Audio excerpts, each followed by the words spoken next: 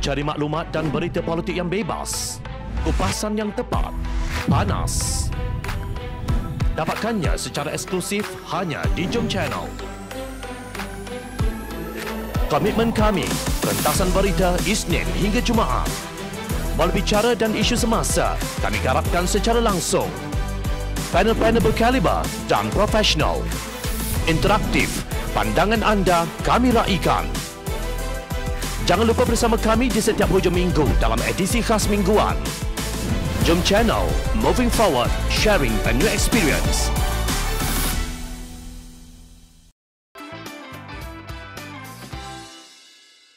Kegelisahan itu sebenarnya tanda satu kegagalan. Timbalan yang dipertua Speaker Dewan Rakyat Datuk Muhammad Rashid Hasnon dilaporkan berkata sama ada hanya 80 ahli parlimen untuk berada dalam Dewan Rakyat seperti yang dibuat pada persidangan sebelum ini akan diputuskan minggu depan sebelum persidangan khas Dewan bermula pada 26 Julai hingga 2 Ogos ini. Perkara tersebut sebagai langkah untuk mencegah penularan COVID-19 akan dibincangkan dengan ketua-ketua WIP yang mewakili parti politik masing-masing.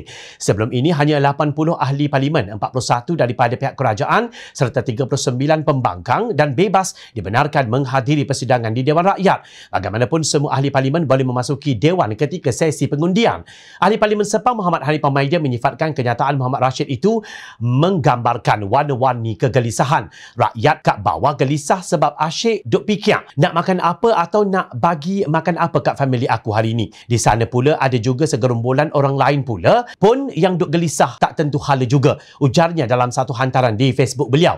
Secara Secara tersirat, pengerusi Biro Undang-Undang Amanah Kanun itu menganggap pihak Kerajaan Perikatan Nasional takut akan dijatuhkan. Hari-hari mereka semua duk gelisah jika mereka hilang sesuatu yang mereka semua pi rompak. Walaupun mereka mungkin tak ada masalah nak fikir untuk mentah ke darah apa hari ini. Katanya dipercayai merujuk kepada kudeta yang mereka lakukan pada hujung Februari tahun lalu. Pakatan Harapan berpendirian bahawa kudeta tersebut adalah satu rompakan terhadap mandat rakyat yang diberi pada pilihan raya umum ke-14 pada 9 Mei 2018. Bila orang dah buat salah dan dilanda kegelisahan keadaan yang sangat parah. Polis datang rumah depa pun untuk masuk meminang anak depa mereka pergi menyorok bawah katil. Padahal polis tu tak bawa waran dan dari pun sindirnya. Dalam masa speaker bercakap tentang berapa ramai ahli parlimen yang boleh masuk ke Dewan Rakyat, Menteri di Jabatan Perdana Menteri, Parlimen dan Undang-Undang Datuk Seri Taqiyuddin Hassan berkata, ruang untuk perbahasan serta mengemukakan soalan disediakan dalam sidang khas parlimen secara fizikal, membabitkan 220 ahli parlimen. Ini menunjukkan kerajaan kita telus. Ahli parlimen boleh mengambil bahagian dan memberi pandangan selaras dengan titah yang di-Pertuan Agong supaya supaya perkara ini dibincangkan di Dewan Rakyat. Sidang khas itu melibatkan lima menteri yang akan membentangkan tiga agenda. Pertama, proklamasi ordinan darurat dan kedua, pilihan raya kecil PRK Grid.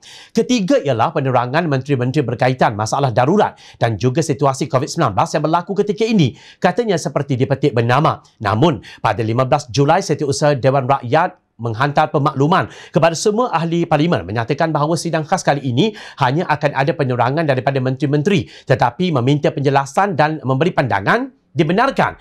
Mengulas mengenainya, Pengarah Komunikasi Keadilan Fahmi Fazil berkata, Setiausaha Dewan Rakyat dengan jelas merujuk peraturan mesyuarat 14-1 1 di mana Dewan Rakyat hanya akan mendengar penerangan oleh menteri. Tiada perbahasan sebenar dan tiada diputuskan apa-apa. Menurut beliau, kenyataan ini bermaksud kerajaan tidak mahu mendapatkan keabsahan Dewan Rakyat untuk pelan pemulihan negara dan lain-lain perkara yang hanya akan diterangkan menteri-menteri. Seperti yang saya sebut sebelum ini, kalau hanya setakat nak bagi penerangan, lebih baik buat FB Live atau hantar link YouTube. Atau kalau nak, menteri boleh buat Twitter Space atau Clubhouse atau hantar je PDF kepada ahli-ahli parlimen melalui WhatsApp katanya sinis.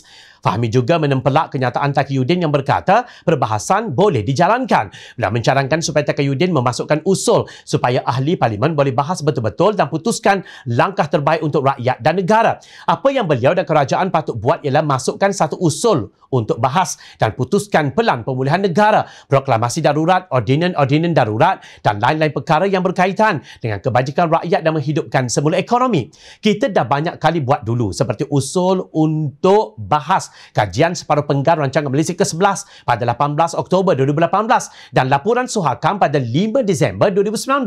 Contohnya, tegas dalam satu kenyataan di Facebook.